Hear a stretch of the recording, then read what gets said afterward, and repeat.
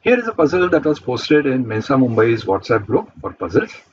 And it goes something like this. There is an old letter box over here, uh, which is of no use anymore. So we are going to convert this by taking its top plank off, whose dimensions are given here 12 by 9. And there is a 8 by 1 slot symmetrically located within this plate. So we are going to take this top plate and cut it into two identical pieces identical in shape and size so that these two pieces can be joined together to form a perfect square like this.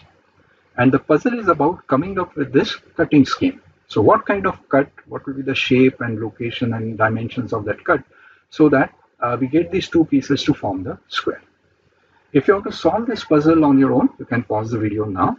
Otherwise, we'll go ahead and start solving it here. Okay, so let us start solving this puzzle. For that, we are going to look at just the schematic and uh, we'll focus into this area here.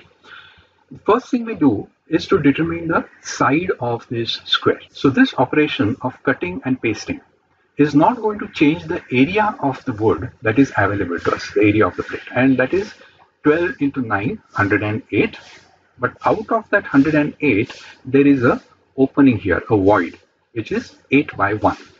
So 108 minus 8, that leaves us with just 100 square units of real wood. So the area of this square is going to be 100. So it's going to be a 10 by 10 square. Now just to get an idea of how to go about this, we'll superpose what we want on what we have. So here is that 10 by 10 square that we want to reach. And here is the 12 by 9 rectangle that we are to start with. And now let us look at the difference that we want to make. We want to reduce the length by two units and we want to increase the height by one unit. Okay, so we can think of these reductions and increments in terms of displacements, displacement vector. So it is something like taking this part of uh, a piece and pushing it in by two units and pushing it up by one unit. If we do that, then this part of the piece or this kind of protrusion or recess uh, of one piece will go and sit here. But for that to happen, we will need a recess here, right? For the, to accommodate that protrusion, we'll need a recess. So that's a recess. And then that creates one more protrusion, right? So we have one corner here that sat here, but that created another corner. For that we need the third recess that created the third corner. So we need the fourth recess. Like that, we make a series of cuts. But by doing these cuts, we have already come halfway and our parts are going to be identical.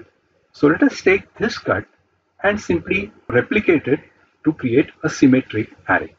So let us take this series of cuts and we will mirror them about a horizontal line and for symmetry we are going to mirror them once more about a vertical line this time. This creates two pieces, so let us shade them. This is one piece and this is the bottom piece. And let us uh, take them over here so we can assemble them. So I'll copy this top piece here and take this bottom one and put it in the recess. Let's check the dimensions and they indeed turn out to be 10 by 10 and that is hardly surprising. We have taken uh, these two areas and we have simply assembled them without the slot. So we are bound to get something that is uh, 100 square units.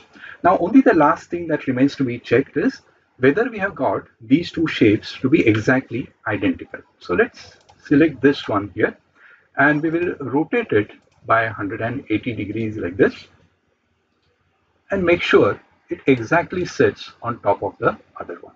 So we have identical pieces and we have assembled them to a 10 by 10 square. So that's the solution of our problem. Now, before we stop, let me show you one more way of solving this and thinking this through. And that is by thinking in terms of not displacement like we did before, but in terms of fractional changes that we are looking for. So here is what is given to us. On that, we superpose what we want.